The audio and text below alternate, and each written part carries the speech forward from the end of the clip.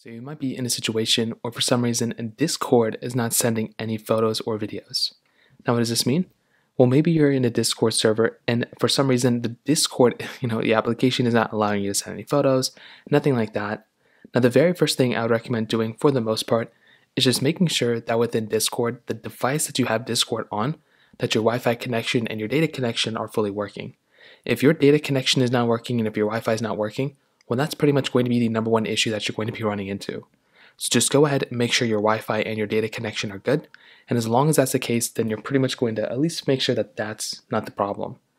Now, the thing you want to try doing is making sure that within that Discord server, you don't have, you know, you're not blocked or you're not banned, or you don't have like you don't have your privileges revoked of sending those types of things. Because if you do, you know, that's probably not going to work either.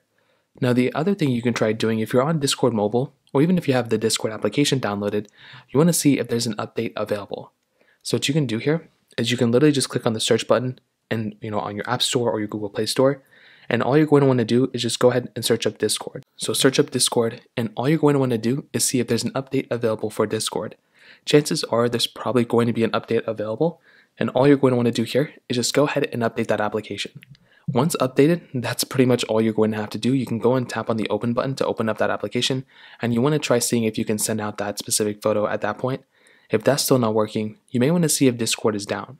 You can do that by going to a website like downdetector.com and seeing where Discord is. And if Discord is like number one, number two, then that's probably going to be the issue. But if it's on here, then that probably means it's down, and all you're going to have to do is wait until Discord fixes the problem.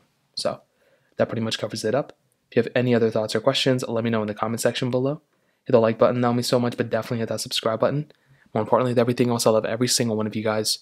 Hopefully I'll catch you guys in the next video.